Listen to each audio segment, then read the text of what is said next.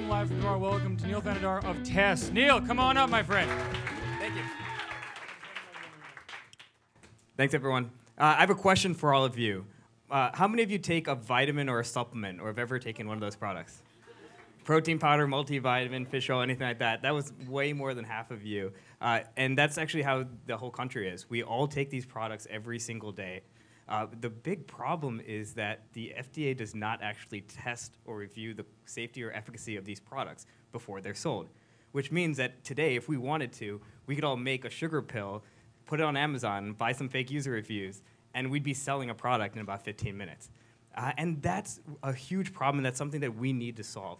Uh, and so that's why we created uh, a company called Labdoor, where we were able to test over 1,000 different supplements over the last five years.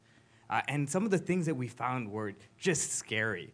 Uh, we found gummy vitamins that were contaminated with lead and mold. We found fish oil that was rancid on the shelf. Uh, and we found probiotics that had all died uh, months before their expiration date. So actually, it's just as good as that sugar pill we were trying to make before.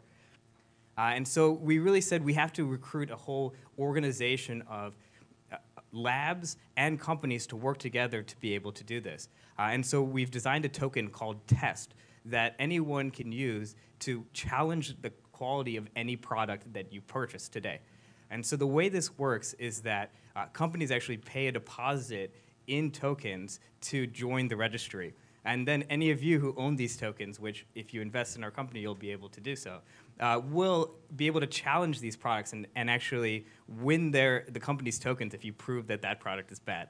And so in some ways, we basically turned it into a little game where companies are actually challenging each other. And so if you could imagine if you're on the registry and your competitor's on the registry and you know they're bad, you can actually join a challenge. And the way that companies fight each other now is actually they sue each other, right? And so this would be a much better way to do that. But it also lets any one of you challenge the quality of a product too. So if you take something and get sick, you don't have to wait for the FDA to show up years later with a recall. You can actually take that action yourself. And so if companies actually apply and they pass their challenges, uh, they're eligible to be test certified. So they can use that on their advertising. You can walk into a store and you can actually know which products have been tested and which products haven't. And so really our mission is that we've got to test every single product that affects your health you should never walk into a Walgreens or CVS and buy a product that has not been tested. And that's what test is for.